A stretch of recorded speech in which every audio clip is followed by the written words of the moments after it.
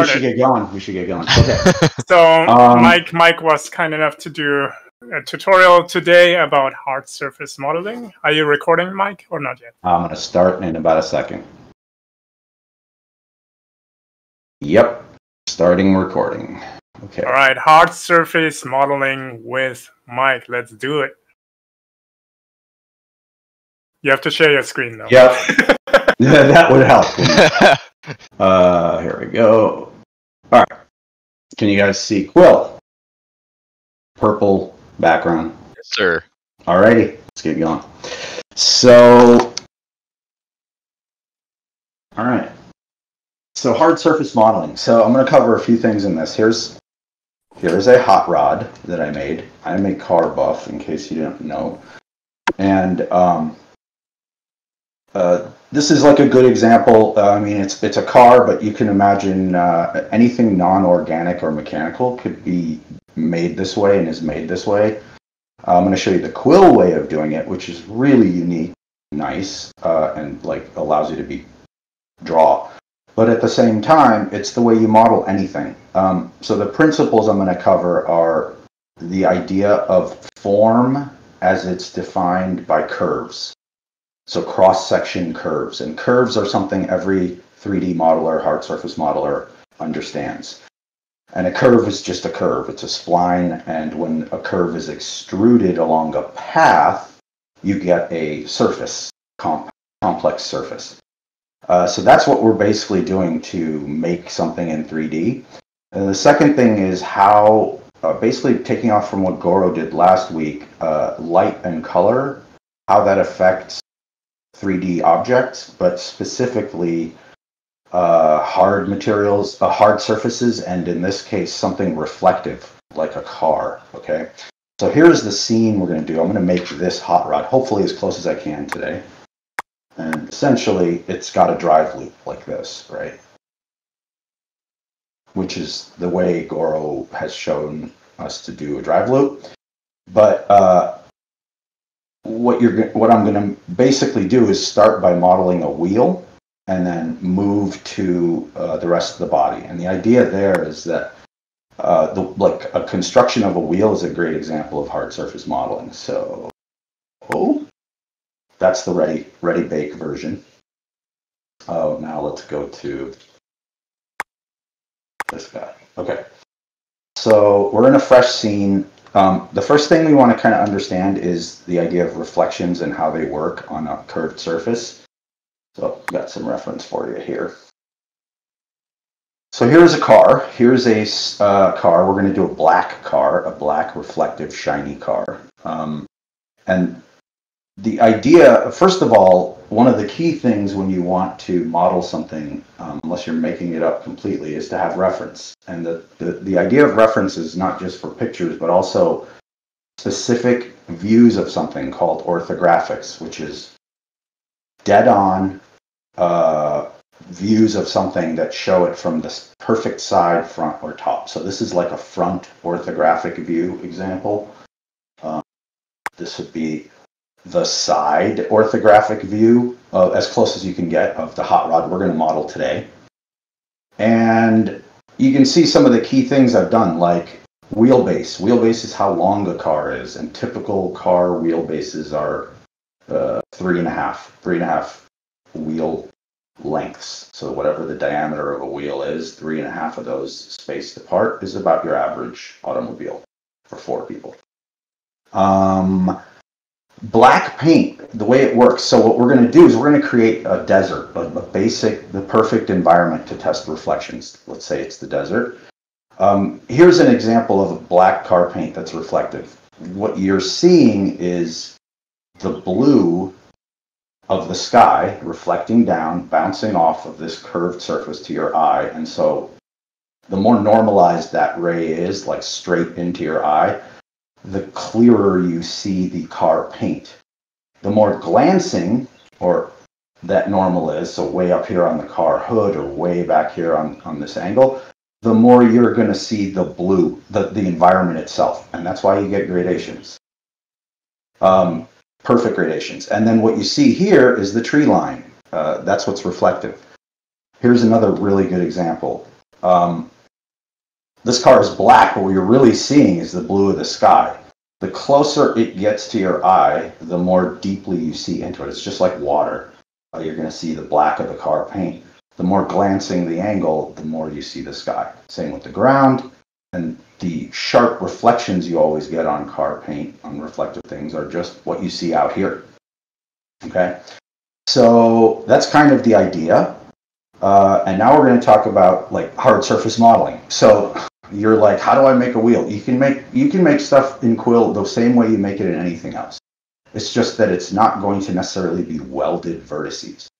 So let's start with the car wheel. Like um, car wheels are complex, but the way I would do something like this is the reference. Here's a profile of a car wheel. Go into the, and I'm going to start by basically making a few things. I've, I've actually made a few things here ahead of time. I've made a sunset sky dome, just a gradation, and I've made a distant background, which is just something to reflect into these trees, into the car paint, uh, and a ground, ground plane. Okay, so, but we're going to work on the car. So let's make a new group. All go in there, make a new paint layer, call it wheel front.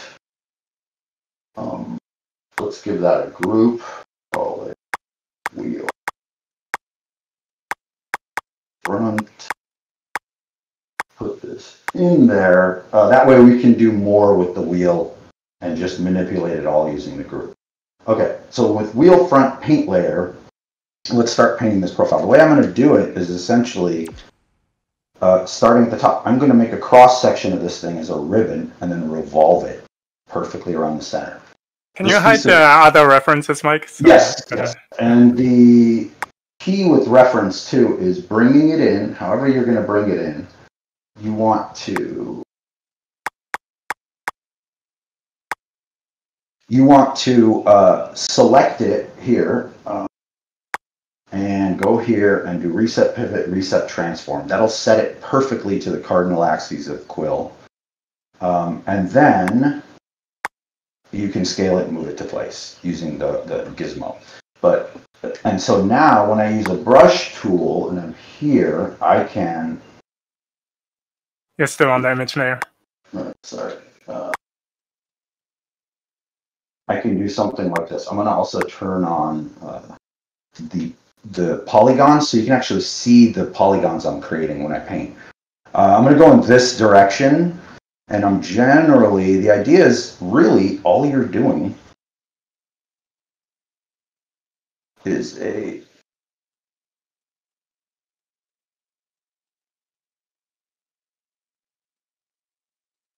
sort of a, a crude construction of this thing. And you don't really have to be that accurate either. What I really care about more is is getting the proportions of a wheel right. Um,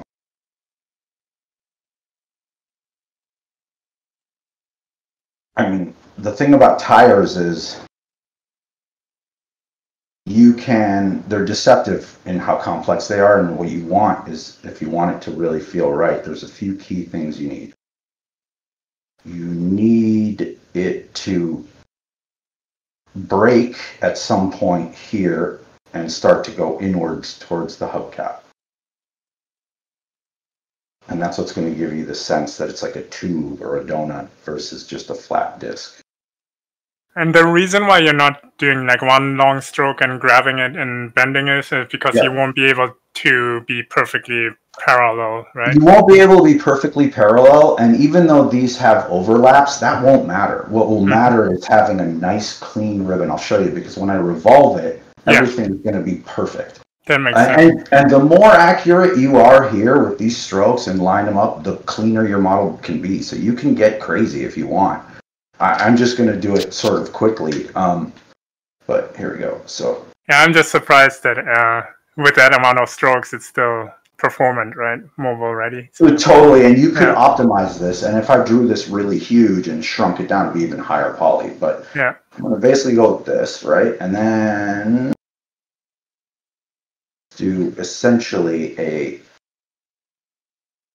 what is the like back of a um, hubcap, you know, like the, just a backside, or maybe the brake disc would sit or something. Okay, so that's that's one half. We want this curve here to get like a nice dome. Well, again, lots of ways to do this, but you know, you can just make a big um, a big like sphere if you wanted to. You don't have to do it this way, but I like to be sort of accurate because again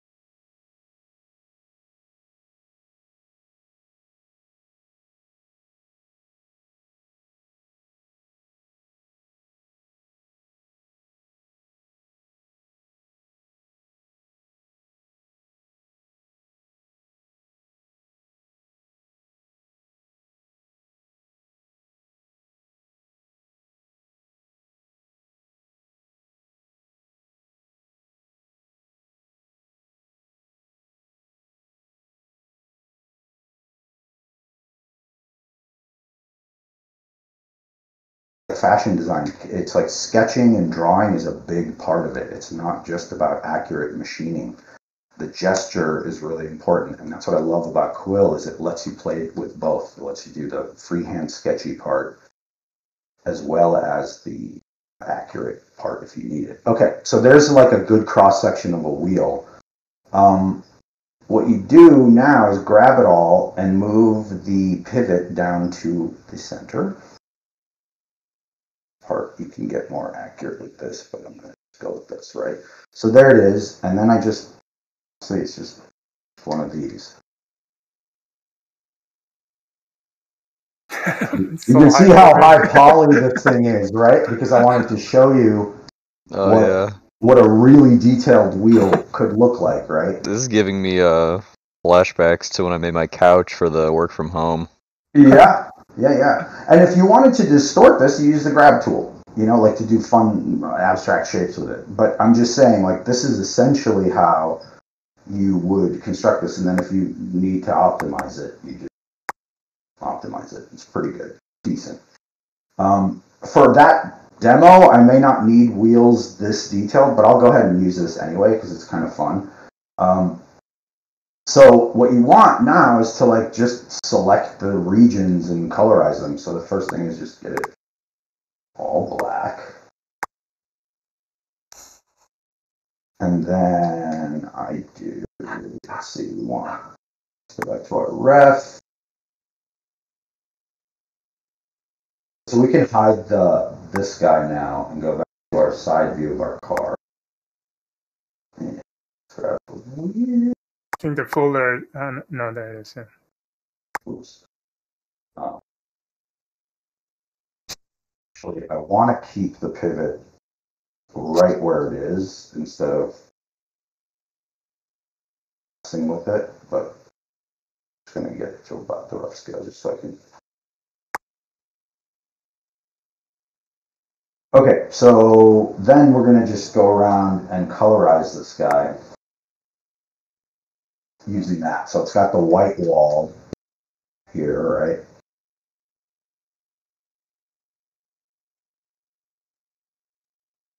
and Daniel also mentioned this last week, you over select and then deselect is the way you get stuff quickly. Right? Do you Um, ever um, separate it now into layers so it's easier to reselect? Or Yes, except with like the white wall, I don't really care. yeah, Like that part, I don't care as much. Um, but I will when I do the hubcap, yeah, that makes sense. and only because when this wheel is spinning, uh, to get the chrome reflection to work in Quill, I'm actually not going to move the hubcap and keep it still and just jo- jostle it. Right? And that's just a, a side effect of working like it's chrome, so you got to have it keep the horizon line in the same place. Uh, but everything else can actually physically spin. So, okay, so there's like my white wall, and then I want to do the interior here. It's like, sometimes I do split it up because I may want to like not have a hard time. But in this case, it's so simple to select Yeah. it, honestly, that it doesn't matter. Um, get our red, okay, and then let's grab this. And now I'll move that to a new layer and call it Chrome Center. Okay, so, and on that guy, it's a good example of how you paint uh, materials, right? So you've got the sky reflecting. This dark band is whatever is reflecting out here compressed down into, you know, a tight mess essentially, and then your ground plane.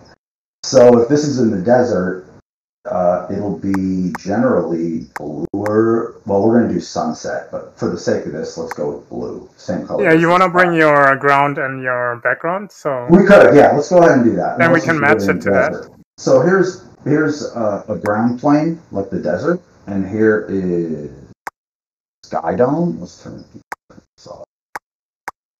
Okay, and here's a, something to reflect out there. It almost doesn't matter. That could be darker, by the way. I didn't want it to be distracting. Um, okay, back to Chrome. So the blue of the sky roughly is going to get painted in here. Um, let's do a quick nudge on this. See if that's set out. So what he just did is um he had some Z fighting going on because there was like um flickering. yeah it was flickering because um planes are exactly mathematically correctly on top of each other so just to fix the flicker so you just have to just nudge it just a little bit and then it would go away.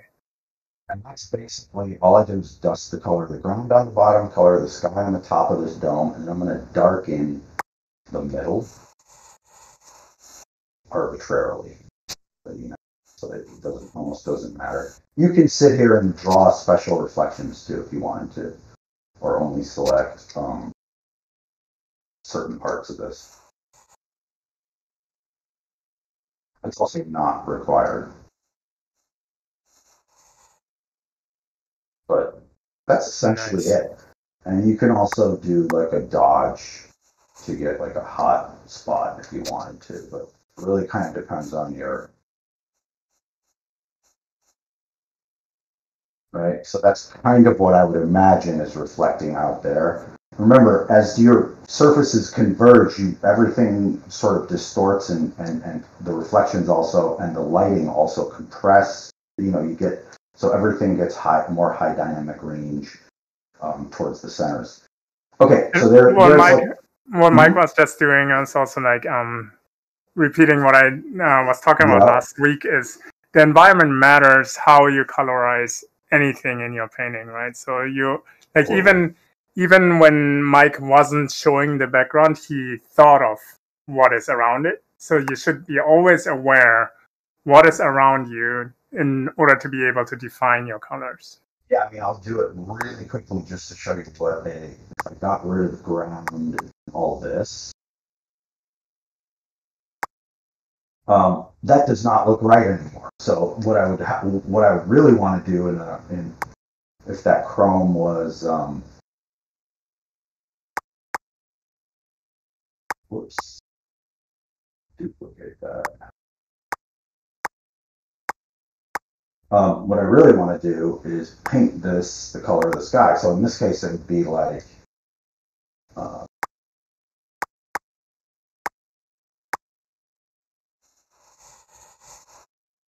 much bluer, and the desert ground would be what it is.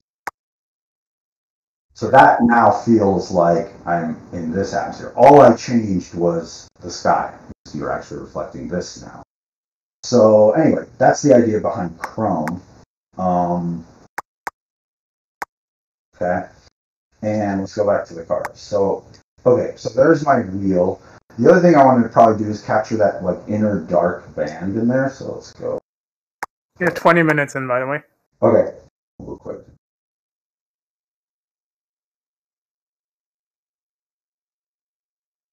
And this is where you can,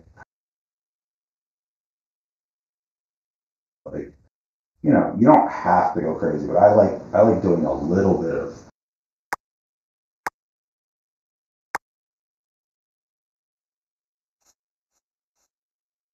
defining of the form. So you're thinking of this as it's ambiently lit because the reason is this wheel's going to turn. It's going to animate. So if I if I was illustrating this, I would be um, I'd be doing this. I darken here, brighten here, right? Like that.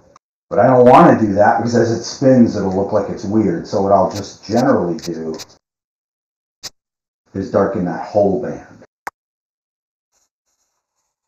Because, whoops, and I want to do it fairly evenly.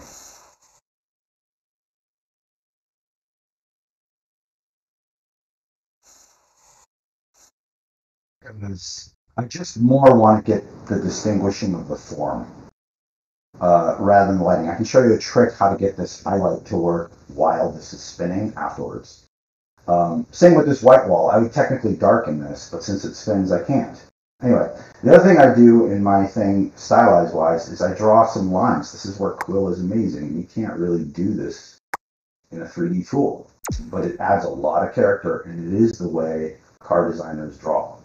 You know, uh, so I can do so if we do this.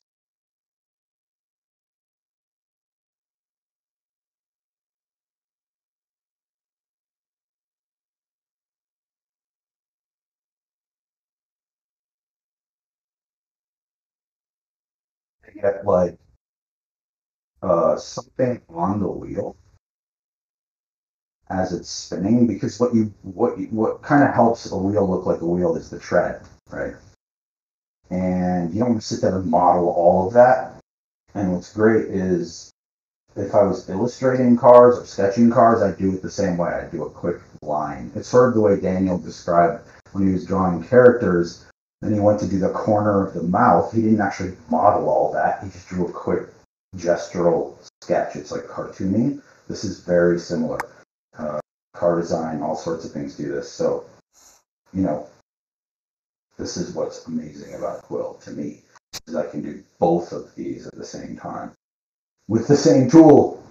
Um, okay, so there's that. That's kind of cool. Once when this thing starts spinning, these will give it even more of a sense of motion. Otherwise, you won't notice. Like,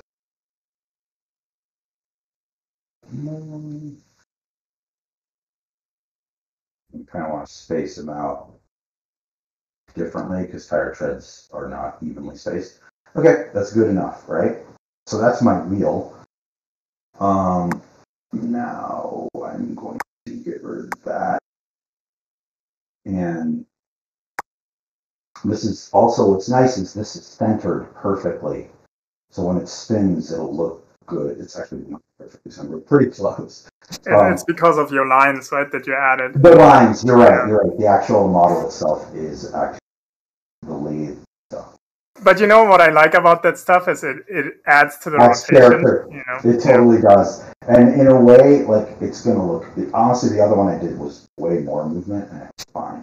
So as long And as also- you're Like a real tire would do the same because the ground is not even, right? Totally, totally, and it like it totally works. Um, it almost looks too mechanical if you don't have a little variation, a little noise in the jitter. In fact, when you animate at the very end on high def stuff, you do add some. Okay, so let's get this in here. Uh, my picture is not perfect that I'm going off of, so I want to stick to reality here. Uh, the back wheel of a hot rod is usually a smaller wheel, thicker uh, tire. So, but I can use the same thing if I wanted to, um, by just sort of stretching it. So I can show you that. Um, see, so I'll, that's my wheel front. Let's duplicate it. How come you know so much about um, proportions and stuff about cars? Okay, so uh, I studied car design, got a degree in it. In Oh, you did. Okay. Yeah, so I went to Art Center, which is like a car design school, and we study, you know, automotive engineering and car design, which is, you know, I kind of to art center. Yeah, and it's um, it's funny because I got into games. Oh man, so I had some teachers you all have probably heard of. Uh, Syd Mead. uh, no, I wish he did lecture once. He did lecture once, and he did go to Art Center, and he's like the guy that inspired me to go into cars because he was a car designer that did concept art, which is what I like to do. I don't design cars. I actually use those skills to design, you know, games and VR. But Syd Mead, uh, Craig Mullins uh, was a teacher there. Um, the guy that designed the original Shelby Mustang taught there. The guy that taught the uh, designed the El Camino was a teacher of mine, Harry Bradley. A lot of famous guys. Um, a few women Wow. too. Not as many women, I have to say. Uh, women in cars are like in the car industry are more rare than women games. Like it's that hard to find because it's such a male dominated thing, which is unfortunate. Um, and people want to change that. Let's see. Uh, I'm going to make this one a little bit bigger by just scaling it, which is kind of cheating. Like technically, the rear tire is different dimensions, different proportions, different wall thickness, but I'm just going to cheat it for this to get it close. And then what you can do is go in here to the wheel, and because I want it to be wider in the back, I can just like select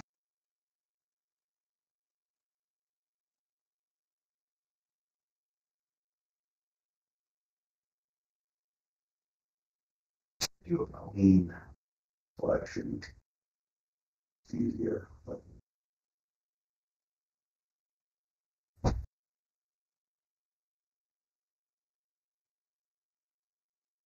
Good.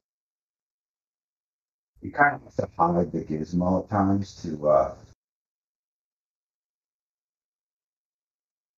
oops, oops, oops.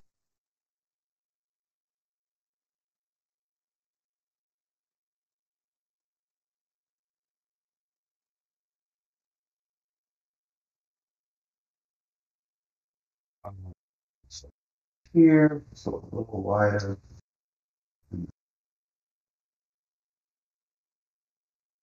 Just flat. And I'm really being picky here. You don't have to do this, but can't help myself. It looks clean when you do it though. Yeah, it does. It's satisfying. And again, it's showing you the process, which is my most important goal here, is to get you to understand surface modeling. So you can see how you can extend something. Like that's a that's a quick way, right? And it feels like it it's the same the important thing is it's the same fidelity of 3D that everything else in your scene is. As long as everything's consistent, it feels right. If something's really clean, something else totally sketchy, that's when you don't that's that's what you end up with in Maya and 3D programs.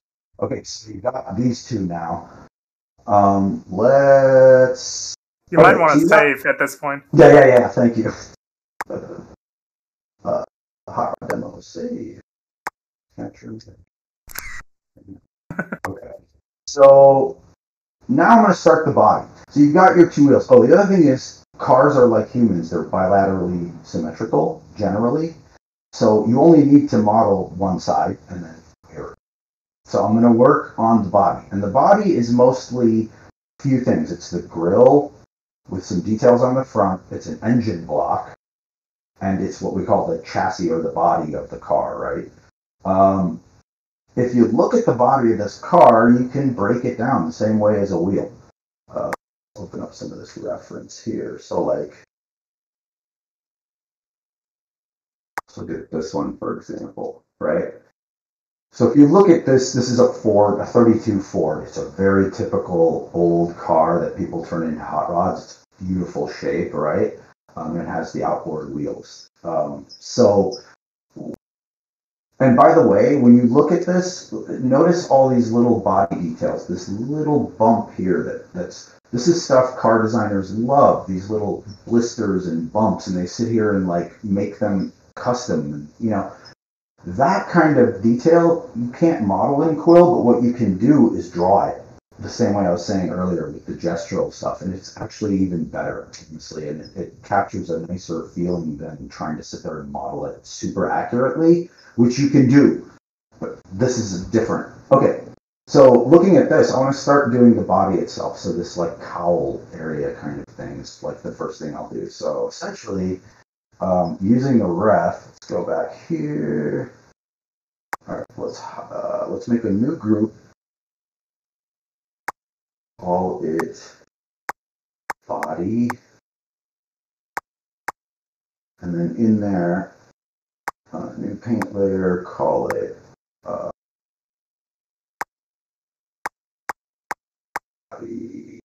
main. Okay. And let's just start by sort of the same method. Um, You I'm put it in the wheel group, by the way. It doesn't matter right now, but I think it's in. It's inside Oh, good the one. Yeah, thank you. Yeah, yeah. Let's get that out of there. Okay, car all. So you got your wheels and you got your body. Um, okay, so starting here, I'm gonna like essentially draw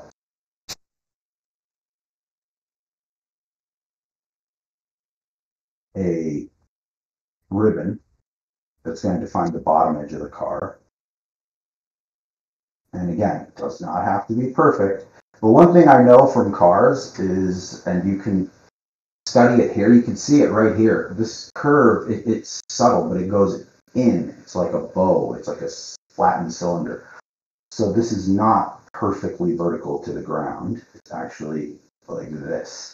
And that is why cars reflect the ground plane. Otherwise, they only reflect the horizon. Um, so now I'm going to move that up. Tilt it a little bit. Let's turn turn this on so you can see what we're doing.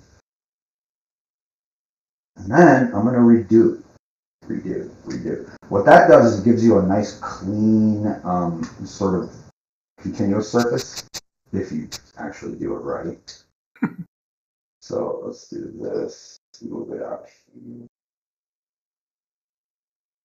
And actually, what I'm going to do, I'm not going to redo this one. I'm going to redo the next one because I do want to break right there at that point. So now I'm going to go. here. So Is that this- is Is this curve mainly for aerodynamics, or is it actually for design, so it reflects Both. the environments nicely? Both, both. It reflects the environment nicely. So one thing to keep in mind, if you ever are in a 3D program and you want to check out reflections and play around with reflective surfaces, do not use a cube. Do not use the Cybertruck. Anything with flat planes, flat planes uh, are tricky. They don't, you know, it only reflects one ray of light. A curve picks up gradation, and so you get variation.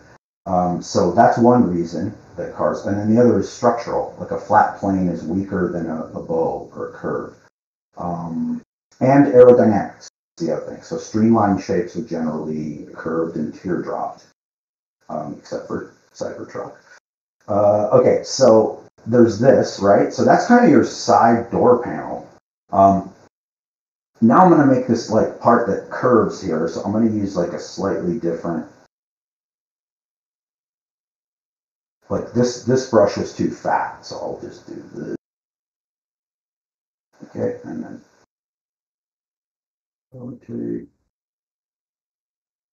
redo. And if I wanted to get accurate and do the interior of the car, I would stop here. Um, I would stop here, about here, and start doing this. Like the door panels going in. But uh, in this case, I don't care because I'm gonna. It's gonna be not gonna be a convertible. I'm not gonna see the inside, so I'll just go like straight across.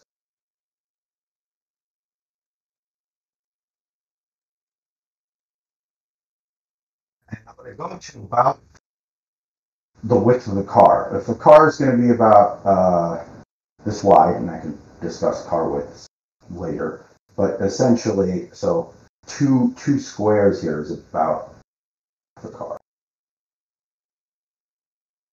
So about that. All right.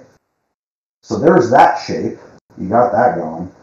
Um, now you don't quite see the curve of this until you start to actually paint it. And this is where you have to understand what Goro talked about last week is the lighting. Where's my light coming from? What's the environment? All this kind of stuff matters. So I'm going to show you how to make this look like that, essentially. Let's hide the reference. Okay. So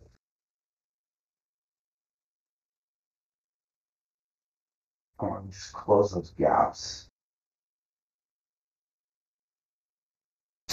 Okay, good enough. Um, what's happening here is the sky is reflecting on this top plane. All these, and go in here, and just, you know, put in the purple of the sky. Just it in there. Um, there's a break here in this surface. And that's why I'm going to grab all of these continuous curved surfaces before they break again.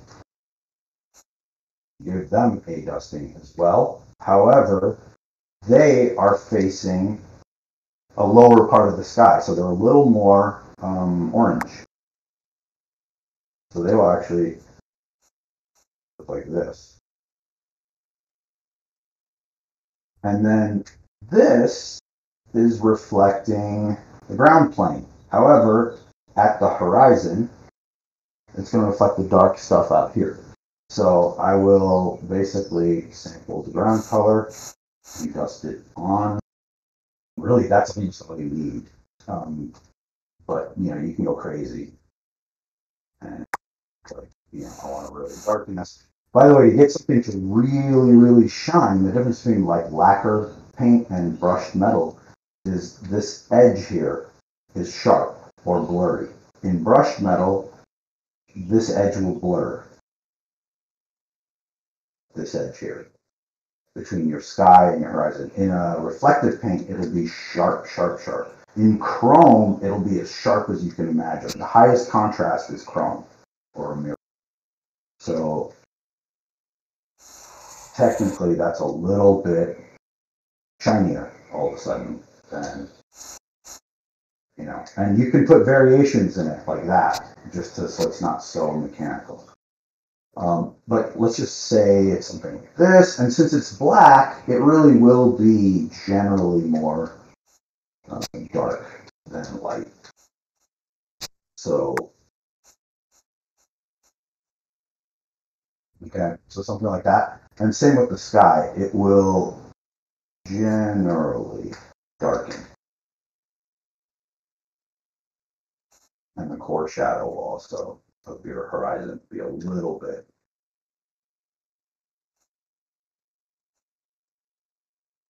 You have 40 minutes in mind. That's cool. It'll, it's actually going to come together pretty quick. Okay, so then you got this. Now, let's go back to reference. Okay, so I've got that. Now I want to do this back part. Um, same thing. Uh, I'm going to start by doing, there's a couple of ways to do this. So I would do, yeah. Mm-hmm. Um, I don't always. I don't always, but I did in this case because I wanted to show you the. Uh, oh, by the way, when you're when you got reference, it just sees through everything. Yeah. so only select that color, select that because um, when you. In this case, I'm going to show you modeling, but also it is nice to have the wheels there because it gives you a sense of the spacing of the car. Like the most important dimension in a car is its wheel base the distance from this center to this center determines a lot of things. Sports cars, um, compact cars all have a different wheelbase. Um, so that's one reason. Okay, I wanted to get that back part, so I'm going to kind of go with that. This is where Quill's other brushes are nice. Um, it's probably better to use this one with the curved end to do this. Um, by the way, the wheels are outboard on this car, so let's go and grab all of the body.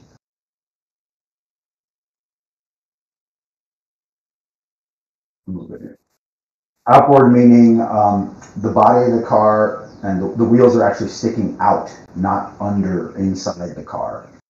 Like, uh. You see how they're actually this better.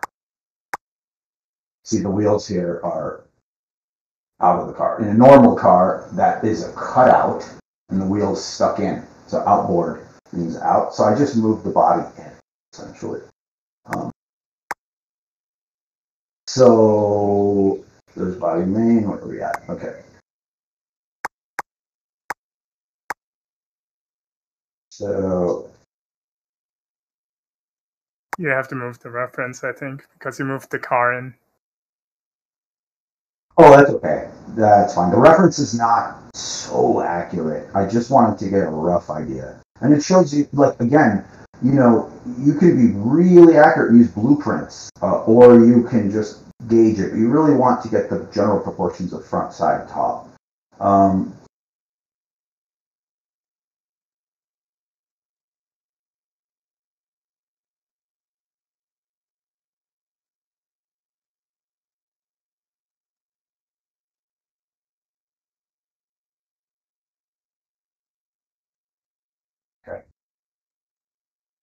and let's see.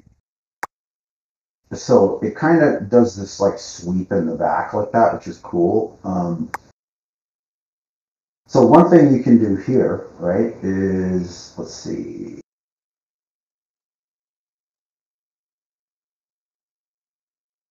So probably do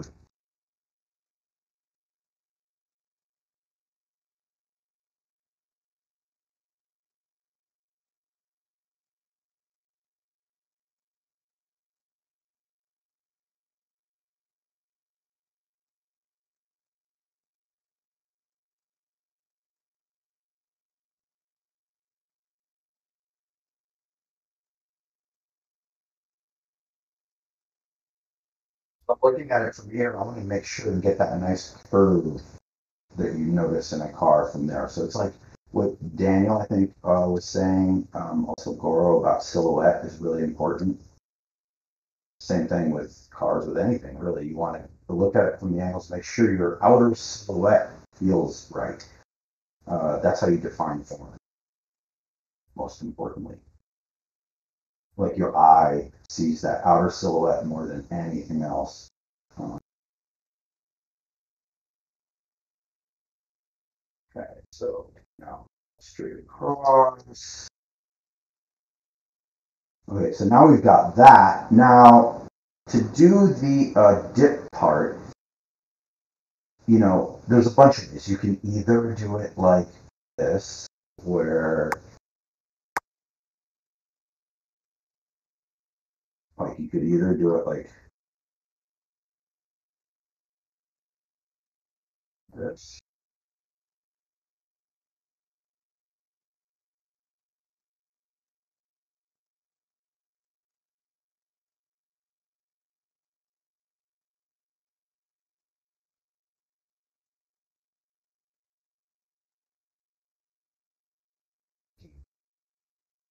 Uh, or you can do it like, I mean, there's a lot of ways. One another way to do it is really to draw it.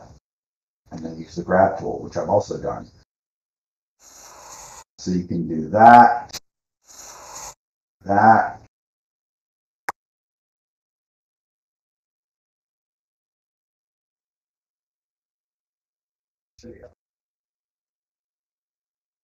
you. I think you're nudging, not grabbing. Oh, I might. Oh, geez, it right.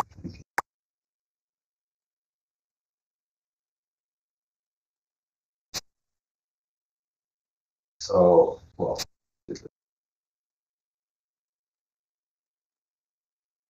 do this. That's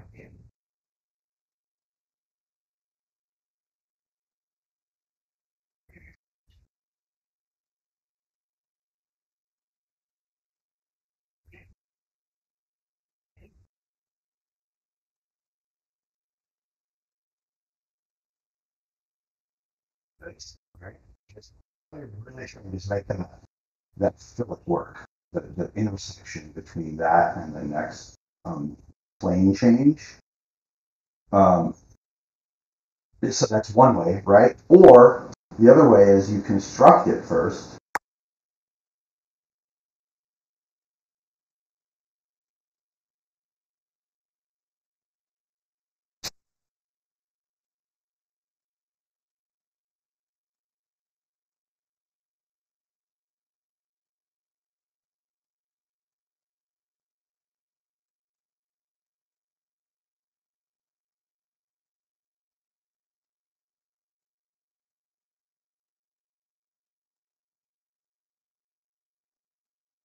Selecting and reselecting things, so it resets the axis gizmo to the cardinal axis because it keeps the last one you have. Um, so you can do it this way and then use the grab tool on that. Like it, instead of using it on a ribbon, you freehand drew a more sort of uh, machined or sort of depending on how many of these processes you a little more of a like a regular shape, right? Bad examples. Right. And then that's that part. Then you want to get let's the reference. Okay, so this dips like this. It just goes like whoop, right down to a flat. So um Actually, when I notice that, I just want to draw it like this, probably.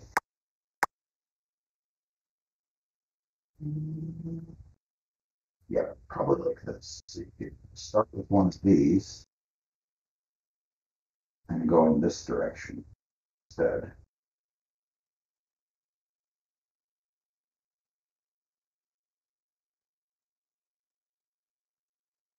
That's essentially what space exhibit. It is more of the yeah.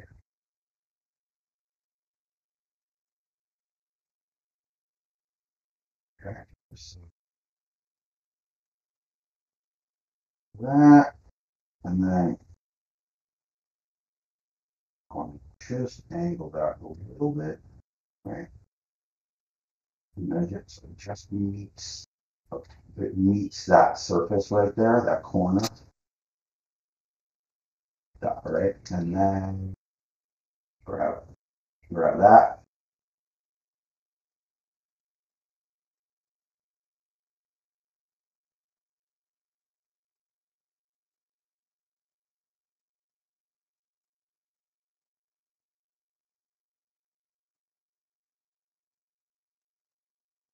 You want to catch the major plane changes. We're not as concerned about the super detailed stuff. Um, so to close this, this is generally, honestly, it's just one of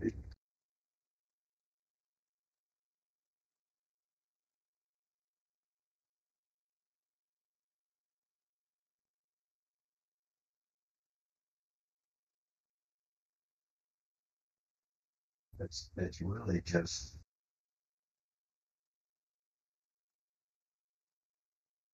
You can you can just like the whole thing.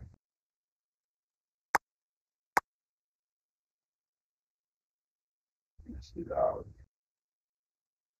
Oops. There you go. Right. Um, You're at 50 minutes. uh,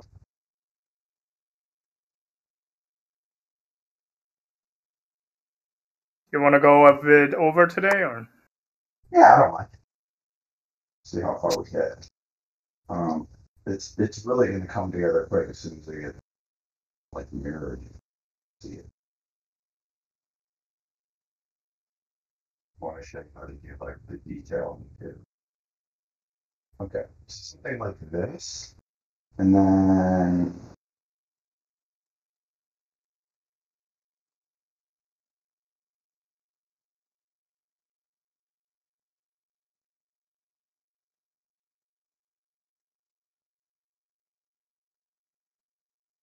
let's make that you want to same thing, I'm gonna show you the idea of the ground plane. Um, so go dark, light,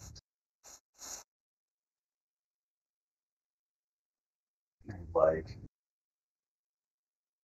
the wheel itself is reflecting back into the chrome. So yeah, it is going to be black right there probably. Um,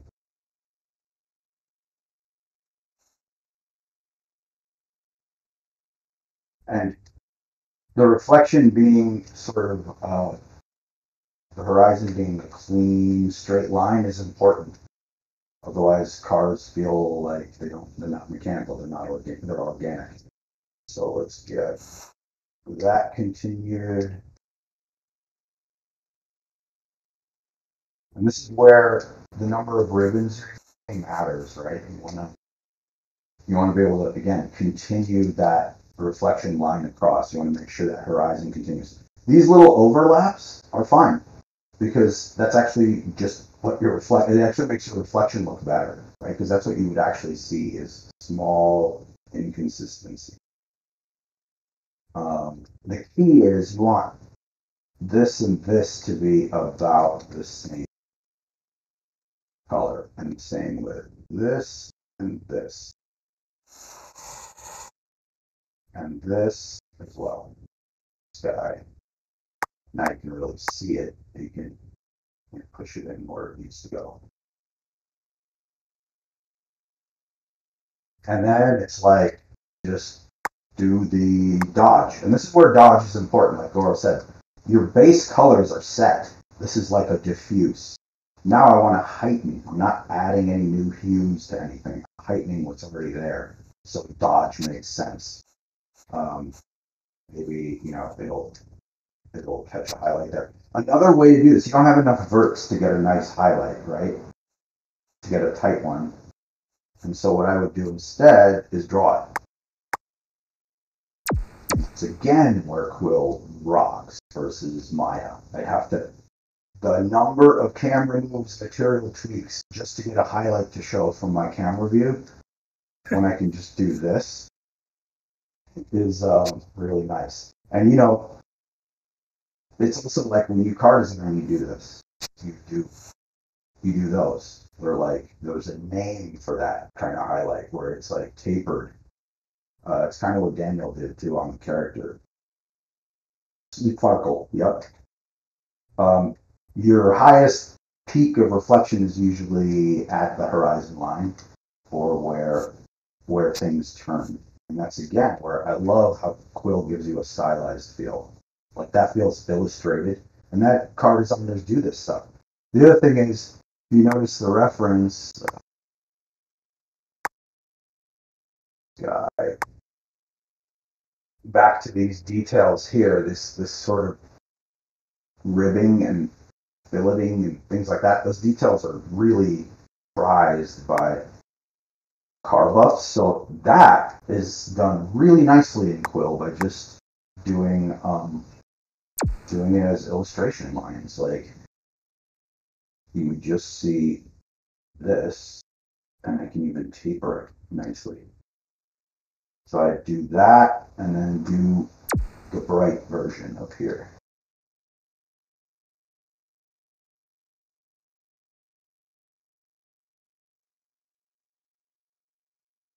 And then maybe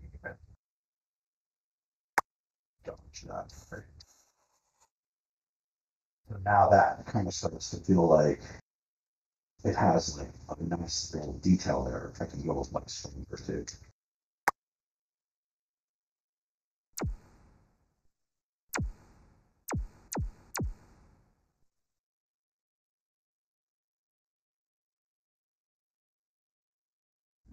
Here, but um,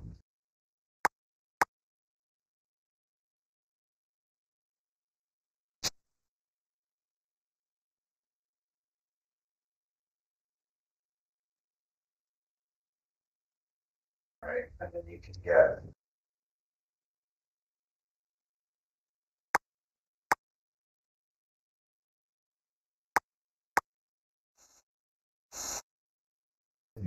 that up the way you would in an illustration too, which is nice. Really good freedom to have. Um, So do you usually do the highlights and what you're doing right now? Do you do it like um, on the fly like this, or do you usually make sure that you have your body? I would first do the body, but I'm trying to give you like a slice of how it works uh, Yeah. first. But it doesn't matter really if you do it this way or the other way, um, as long as you know what you're doing. Uh, I want to also get the bottom of the car. Sometimes it helps me also to do a little bit of the reflection just so I Mhm. see the form in general, right? But then It's I do true. the refinements at the end.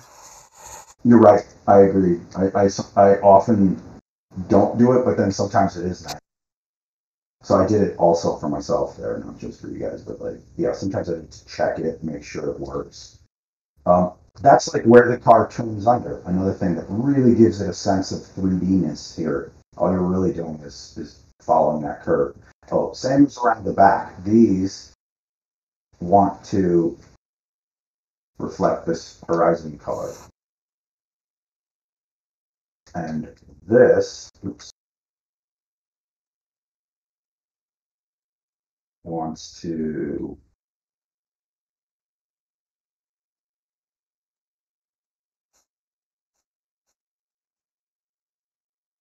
the crisper this line is, the shinier the paint looks. Um, and the higher contrast it is, the shinier it looks. The higher, um, the higher contrast and the sharper the uh, horizon line is in the reflection, the um, shinier the material appears. So it's low contrast right now, lower contrast, and I'm going to pump up the contrast, and you can see that it makes it feel shinier um, because that's just how it works. Uh, the shinier, the more reflective, the more pure environment you see.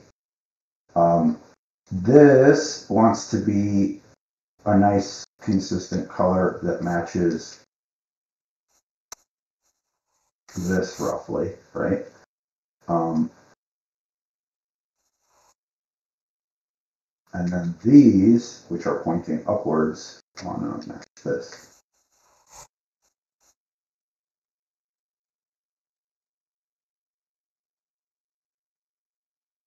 Right? So now that looks like a slab of soap, which is kind of what you want, made out of chrome, essentially, black chrome. Um, We're at the one hour mark, just so Oh. you know. wow. Okay. So there's that, right? There's that. Now, um, I mean, this is what happens to all these demos. We wind up continuing them. So I guess I could try to continue this one next week. It's going to be tough for me this particular week, but um, I'm fine continuing if you guys don't care. It shouldn't go too long. I would say like if you find like a place where you can cut off the stream, like Yeah. you know, like then- by, by finishing maybe that uh, rear portion, you know, Yep. And maybe then we uh, can do a part two. we can do a part two even if it's not directly next week, right? Um, I'm gonna do the front of this guy quickly. This. Let's aim for going about 15 minutes over or something. Okay, 15, give me 20 a- minutes. Give me a give me a time when you get there. Okay.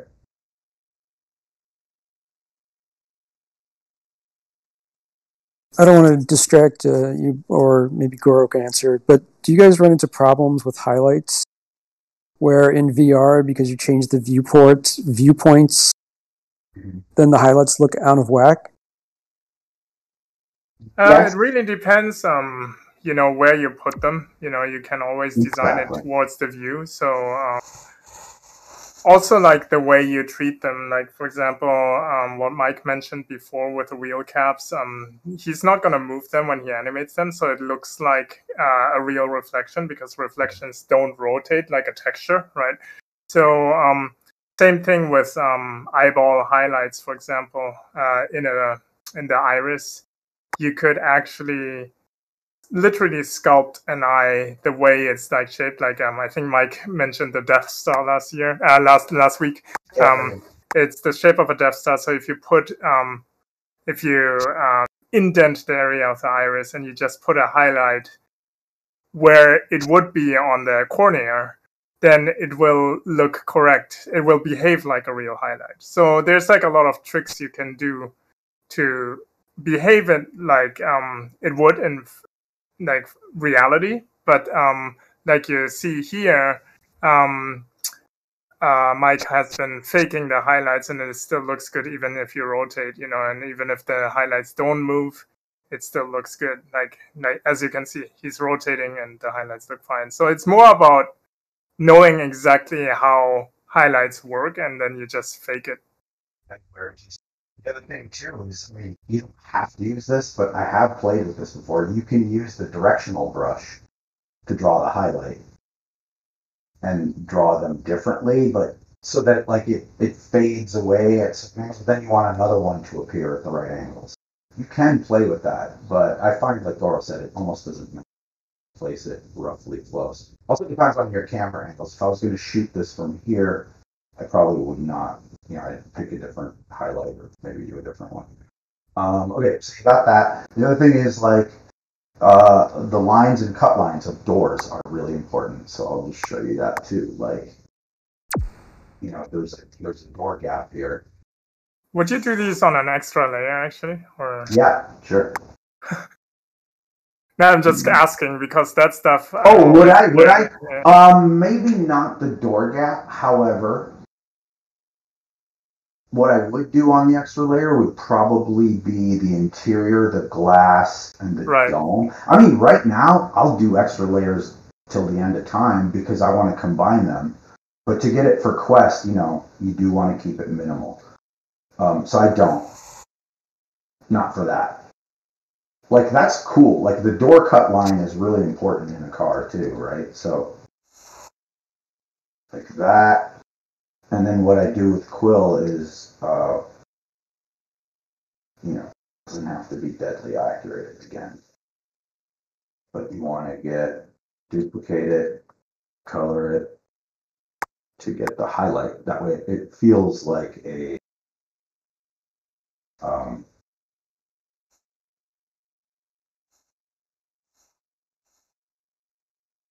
it feels 3D. I mean, this is how you would actually sketch it if you were doing car illustration. You know, you draw the line of the cut line of the door and you draw a highlight for that just to show someone that's where I'm going to put the door. Um, so, so there's that. You see, this, to me, this is way more powerful than if I had to sit here and model this in ZBrush and make a mask for a door and blah blah blah. I will do that. I will when I want render this properly. But to get the rough idea, I can do 50 hot rods in that time with different door cuts and show it to someone and they get the idea and then go in and do the detailed version with normal maps. Um, okay, so I got that. Now I'm You might going- want to save again. yeah, yeah, yeah. So there's Okay. this, and then uh, let I guess let's just do the canopy quickly and then dupe it. That'll be enough for today, probably. That'll probably be 15. Uh, the canopy's really quick, too. It's like...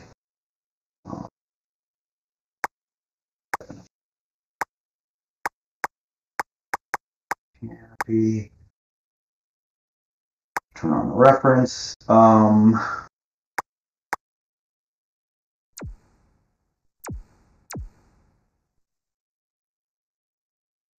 uh, so the canopy is pillars, A pillar, B pillar, C pillar. And the roof line. And the sill, essentially.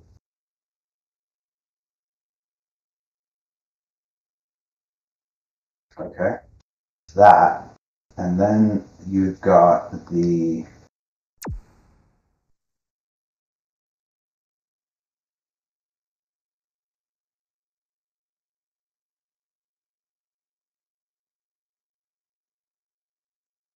where it turns. And then you've got roof, which is bowed. But what I'll do with that is draw flat and then go, grab tool that. Oops. Oops. I usually like um completely eliminate the inner radius, so you get like a super soft. Like you have like the inner radius pretty strong, right? I just do that, and then I can just push it up Yeah, ever so slightly. Yeah, and- and make it super large. Yeah. So, uh, right. And you're using your drawing here too, which is nice. Just to get that curve rough. Um, and then just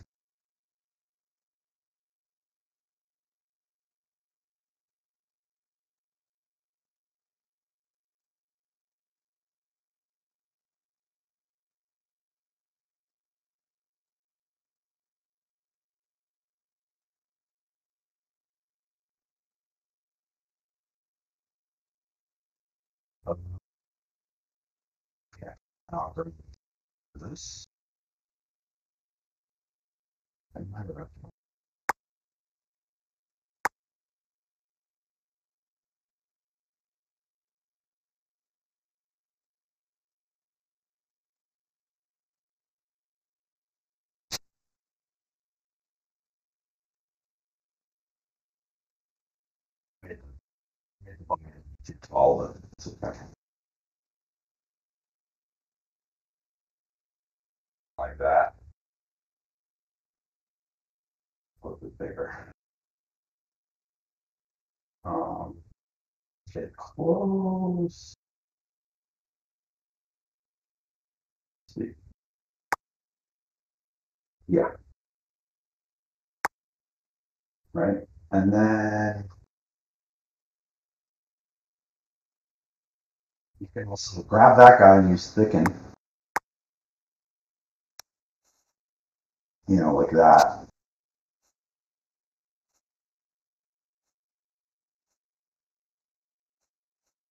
And then grab it.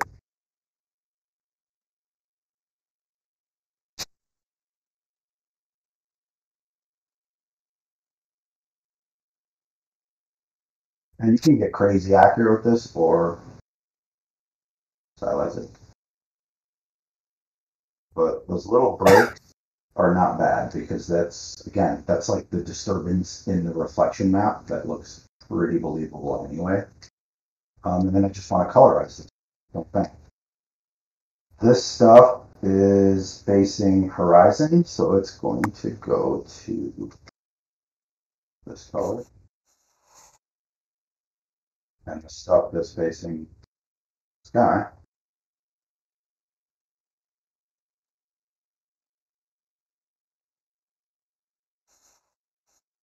Gets that.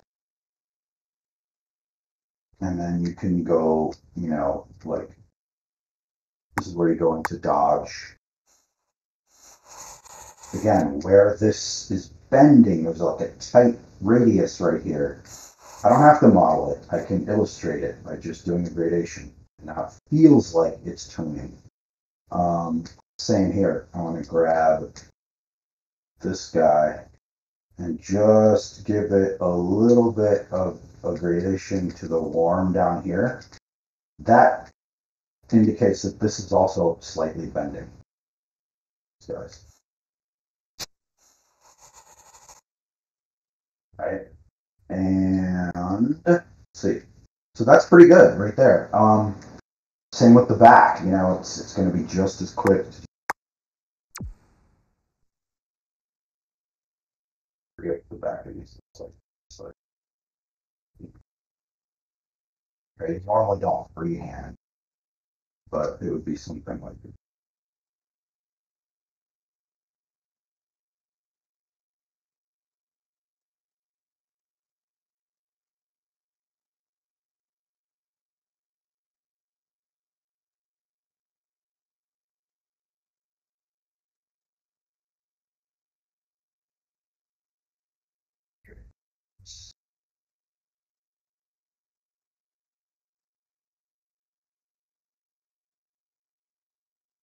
Break. Back glass.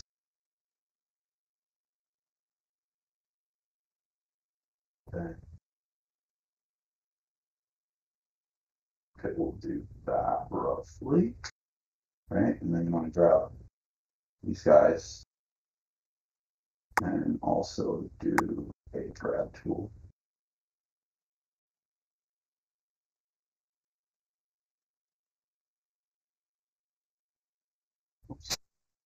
Okay, like that. The warbles you can sit here and get rid of, but it's all about see how I'm changing my eye angle. That's how you the, the warbles. These little uh, shapes because you know reflections generally that that's like oh was the car in an accident why why did it have you know so keeping reflections smooth and continuous makes things look generally more machined. Um, so this is not the ideal way to do this guy, like whatever.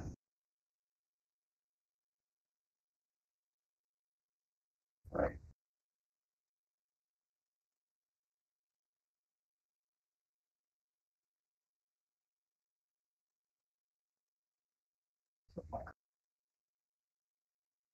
And you can also do this with a tube by the way. That's another way to do that. Just draw a tube, taper it, stick it in there. It would actually look probably really good. Um, but the idea is the same. The idea is that you're, you know, modeling by doing profiles and curves and intersections. Okay, so there's that.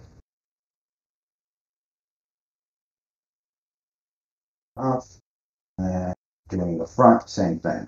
It's like Oops.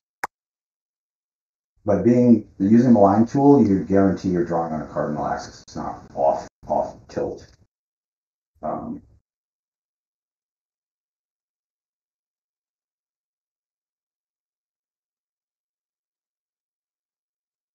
on a hot rod, the windshield is pretty vertical. In a regular car, it's not. Um, I will grab these two and just grab tool them to get them to like bend. Not ideal, but it works. Cool. So with that, right? Um, and then for glass, same thing. I would do glass as a new layer. Glass. Um, don't use transparency if you don't have to. Uh, it's nicer to just use uh, solids. So, like, the glass will generally be reflecting the environment. So, so it's probably going to be, and I'll use the guy so I can get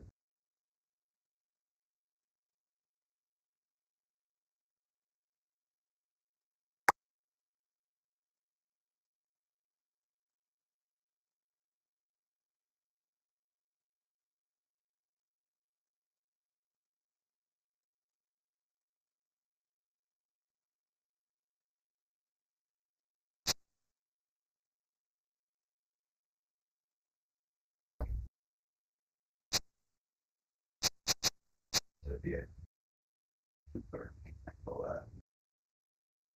For this type of hot rod, uh, it could be like super tinted glass, but if if you want to look inside, oh, yeah. obviously you can use transparency, but um, the recommendation is I think I've said it a few times before, but using layer transparency versus variable transparency uh, versus brush transparency. So layer yeah. transparency, 25%, 50%, or 75 looks best uh, on both Quest and Rift, and also when you uh, record videos. Um, you might have noticed if you have variable transparency that you see a lot of grain when you capture videos, and that's because of the way transparency is computed um, via dithering technique. So it looks good on Rift, but it doesn't look good in a video. So um, make sure if you use transparency to use um, 25, 50, or 75% layer opacity for best results. I think like hot rods they are usually tinted, so I would grab all the glass. And this is what's fun too, is you can darken. Um, you can go all the way black. It can be darker than the. It can be darker than the metal, right? Um, or you can do that and dust some glue on. And really, all that matters, because these are flat planes, is a gradation. This is almost enough, and really, it's almost arbitrary sometimes where it comes from. Um, the other thing too is big plane changes. So front to side would be good to, to differentiate. Say that, and then maybe the back is more more of the orange to it or something.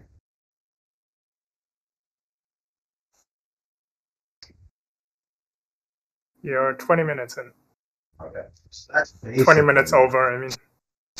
Um, that's basically what what I wanted to cover, right? And then well, the, the last thing is you could do like stylized reflections. You could do this kind of stuff too.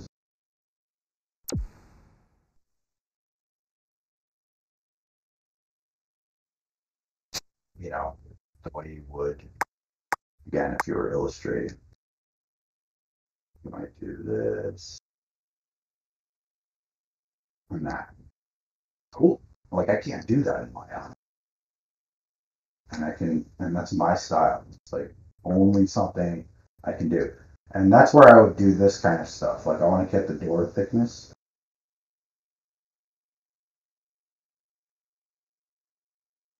Right? Um, or the opposite. That. Um, or use uh, this brush so that you don't have to be doesn't look like a ribbon. Actually, it looks 3D. that. Shiny different techniques. So here's here's a highlight. This indicates like, oh, there's a little ring light right there. Um, same thing here. You know, you One thing to note, um, I also uh, mentioned it in my optimization tutorial, but um, different brushes cause uh, draw calls. So draw calls. This, yeah, in this totally. case, it's fine because uh, um, um, Mike is not planning to put like crazy, like a lot of characters in there or something. It's only the car, so it doesn't really yep, apply. But um, if you have multiple different brush strokes in one layer, you will see that the draw calls um, go okay. up. So just be aware of that. Like that, uh, this, this, so far I've used this, this, and this which is three draw calls when I could have done it all with this. So that's a great example. And I didn't really need the ribbon brush for this, the, the disc brush. I just kind of was trying to show you a different way to use it. Ideally, yes, I would not use anything but this flat brush. Um, or I would sacrifice and use two of them, but that's that doubles your draw count. Uh, and then everything pointing to the ground, this is what Daniel was doing too with the like lips and eyelids and things like that, is is this, right? So now I'm like, oh yeah, that's that's like that's like got some thickness to it. Um, and that's essentially it. That is how you will get to this. Um, tail lights, same thing. It's like just draw.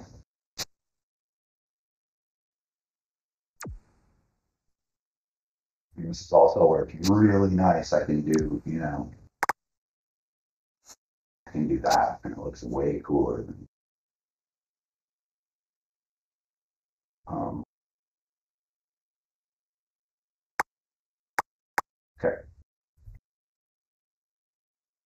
Okay, so there's that. And then, uh, yeah, the rest is mostly just the duplicate and mirror. So now I'm going to grab this whole body. Yeah, I wonder if we want to save this for like when you build the engine and stuff, right? Yeah, the, yeah. The complete half. Oh, yeah, and even even like the flames and things like that would be nice. Um, yeah, why don't we why don't we stop it here and I'll, I can finish the uh, painting the one half, duping it, and then quickly showing you the drive loop with the animations because that doesn't. yeah, I think like that long. complicated stuff like the engine would be definitely nice to see um, too. And um, if you Sure, because that's that's really different, right? Like I won't with the engine, I won't sit here and model it this way. It'll be about Yeah. primitives. So yeah, different. you want to save Uh, at this point, Yeah, yeah. Save it. and then there will be a part two of this class. Yeah, part two. Um, okay, I'm going to stop the stream now. I mean, stop the recording.